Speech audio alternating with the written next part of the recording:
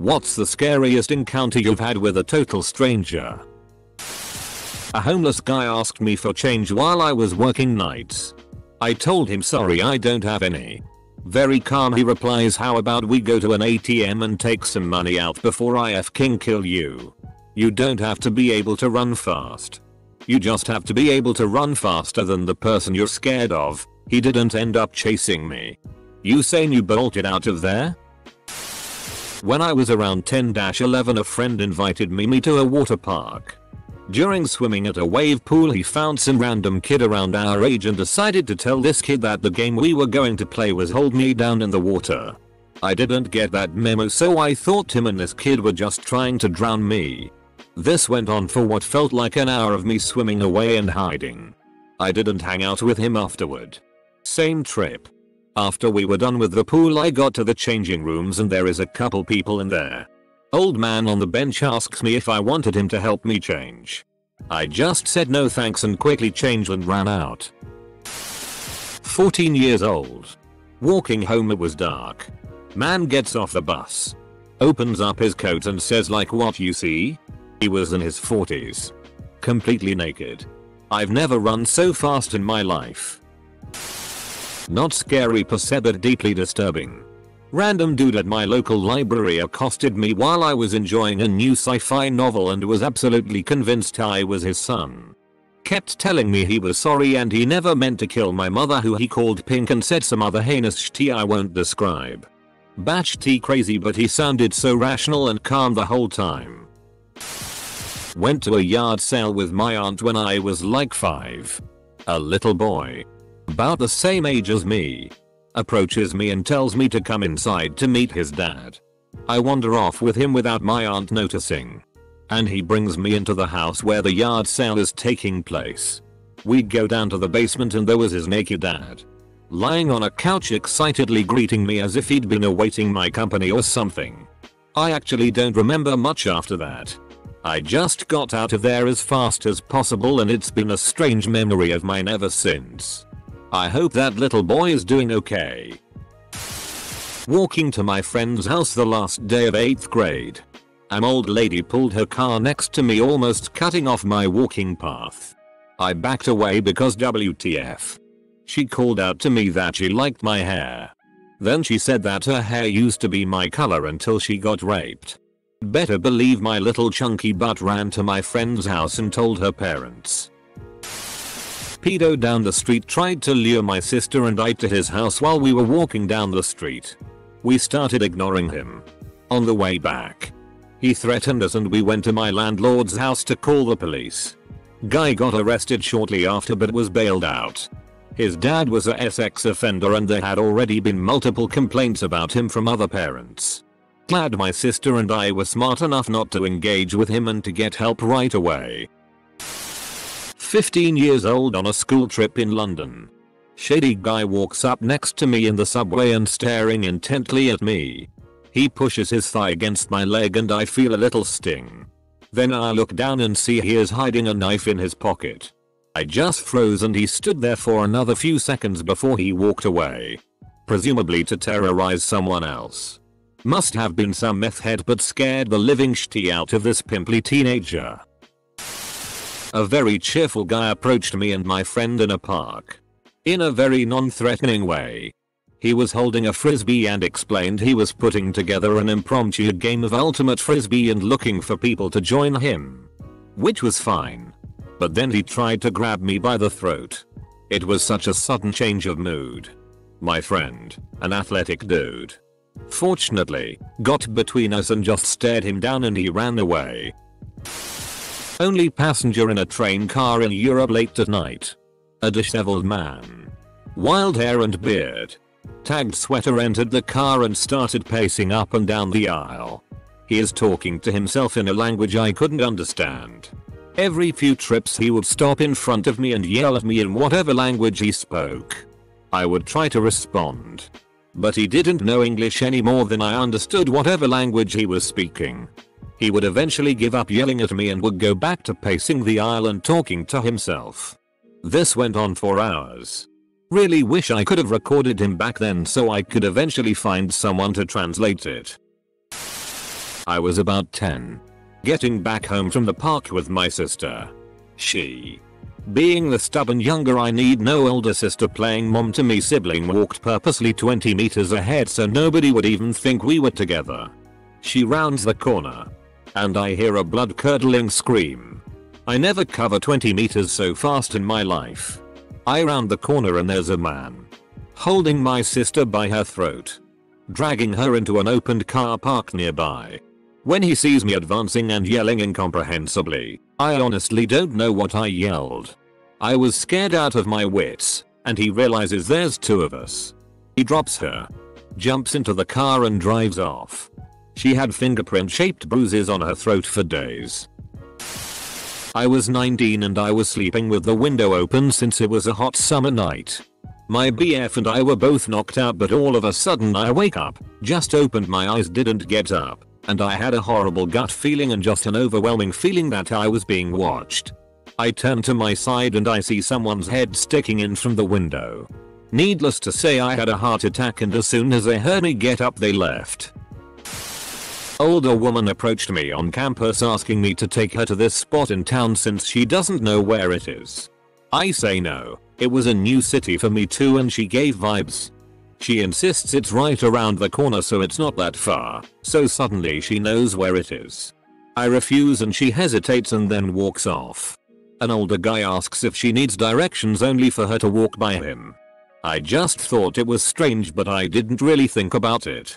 The next week, I check my phone when I get to class and someone posted an article about how this older woman, who was tied to multiple cases of human trafficking, was just caught by the police in a nearby town. From the description alone, I was 16 and sitting on a train station with my mother. Some man came over and started talking to her. After a while I looked at the clock and informed my mother that we needed to go because our train was about to arrive. He flew up from the seat and started screaming at me and wanted to fight me. My mother was confused and tried to explain to him that I was her daughter and that we really did need to leave.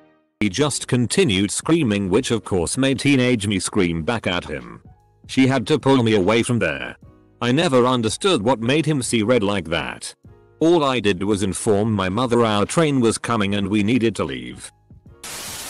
Back when I was 16 working at Lowe's. Some customer who was an old man walked up behind me without me even noticing and whispered in my ear do you know where I can find the hoses at? He said that so close to my ear where I could feel his warm breath while he was caressing my shoulder. My body froze up and all I could say was I think they're in aisle 5 whelp. Shortly after I found out that he never even went to that end of the store where they were. I had just left my apartment to go for a walk down towards the beach at night when it was pitch black. There was a park along the way. Some guy came up to me asking to use my phone. I apologized and lied and said I didn't have one. He didn't believe me and started to get aggressive. He asked me where I lived and if I had a boyfriend. He started following me and that's when I started to run and went back to my place. I didn't feel comfortable going where I wanted to. I'm 14 and was all alone in a dirt path in India and some guy was just sitting on a rock in the middle of the forest. I didn't make eye contact but I could see he was crying I wanted to help but my gut told me not to. Three days later was caught for murdering his wife and 5 year old daughter.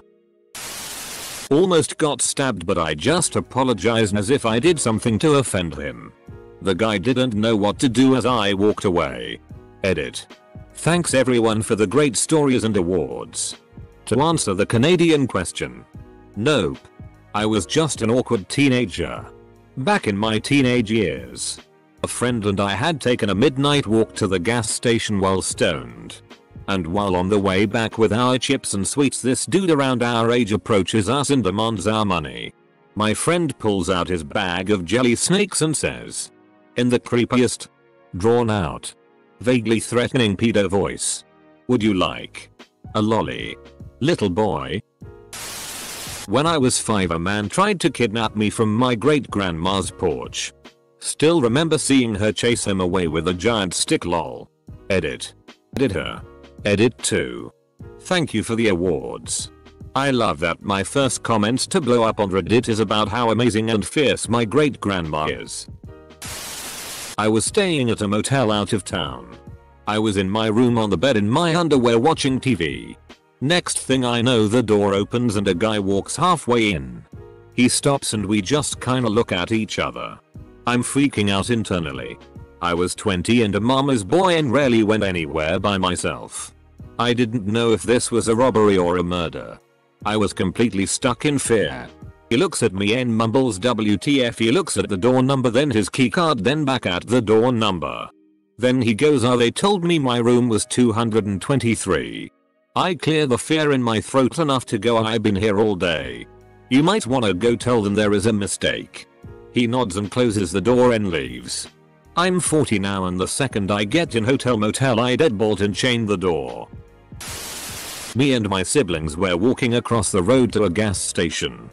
We frequently went there to grab snacks and such and then we leave and go for a walk down a road behind it. Well a car starts following us with its headlights off so I quickly dip telling my siblings to follow me. So we start running through a field and lay on the ground to wait for them to leave. Well the drive down the road and then circle back. This happens about 4-5 times before they gave up and we went home. I was a teen working in a cinema. After cleaning and locking up I had to go by the bank and deliver the cash to a bank box, any amount between 2 and 8k euros. One day I was locking the front door. There's a pub on their other side of the alley. It was a busy night so there was way more cash than usual. I come from a Scandinavian town that is not too busy. But sometimes in the summer it can get pretty crowded. I was a little nervous because I had so much money on me. I'm a little paranoid. All of a sudden a man in a jokingly voice says hands up and give me the money. I got so visibly scared that he excused himself. He then leaves laughing. Probably drunk. Man I got scared. For some people wondering what I was doing with so much money. I knew the owners very well and they thought nobody would expect the team that cleans up popcorn to carry the cash. TLDR. Had way too much cash on me in a semi-dark alley. I was 21 at the time. And not exactly a small dude by any standards.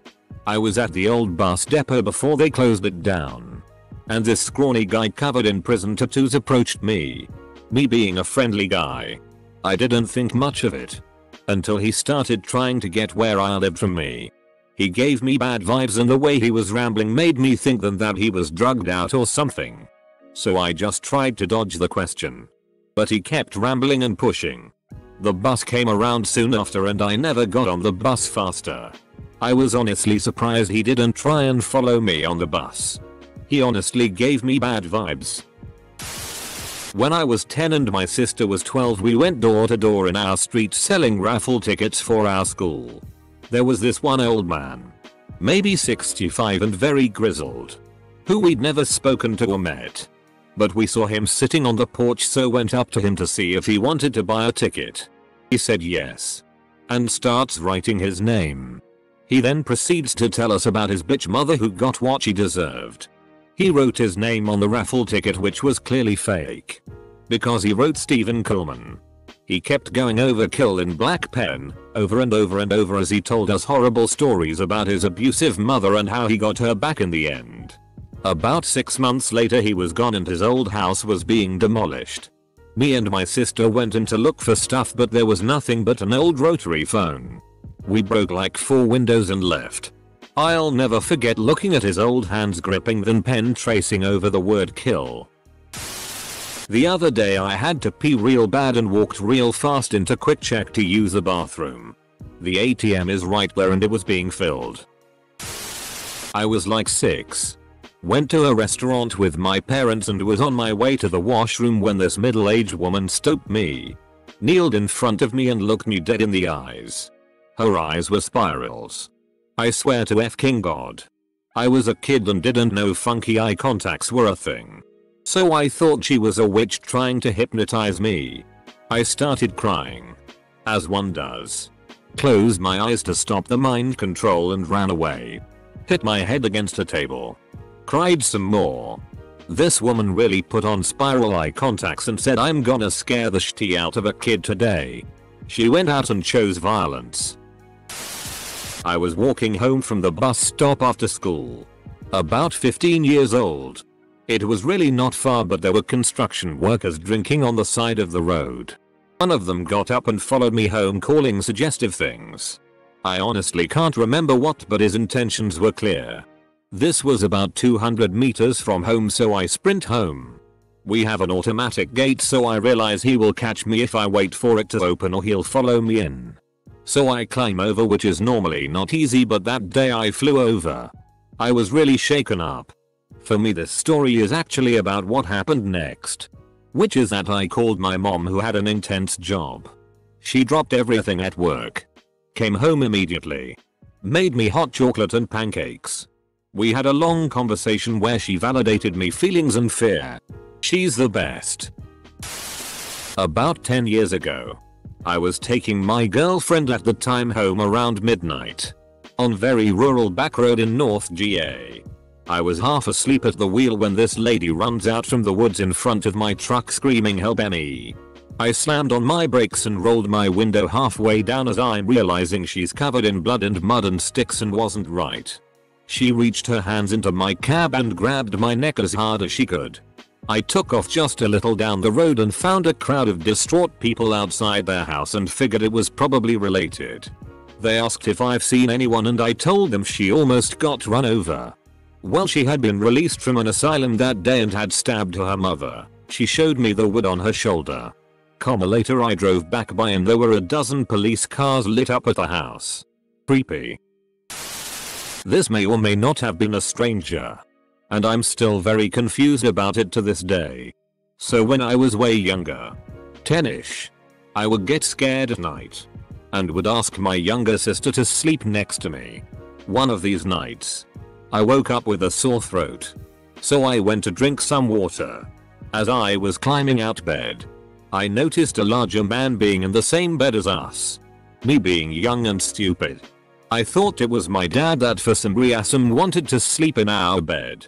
When I woke up the next day and asked my dad about it, he claimed that he slept in his bed.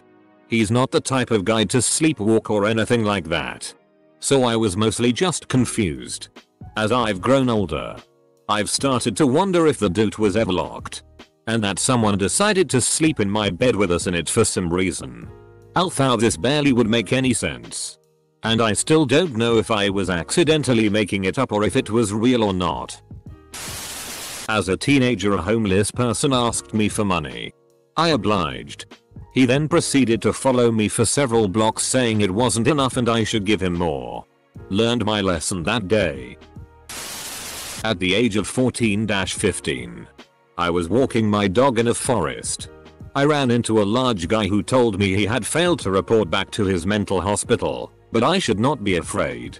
He told me about visiting the purgatory and how painful that was. And said hell was specifically 1000 times more painful. He gave me colorful details. Like something out of Borshaw or the Hindu Book of the Dead. He begged me to pray for him which I said yes. Of course too. Incidentally, my school gym in those days was located on the opposite side of the road from a mental hospital. And they'd release them for a walk every now and then. We'd run into them on our way to the gym from school. It was a bit eerie but okay since we were in a group. And it was in a city. Being outside of civilization and alone with that guy was terrifying. He wasn't harmful and let me go. But it was deeply uncomfortable.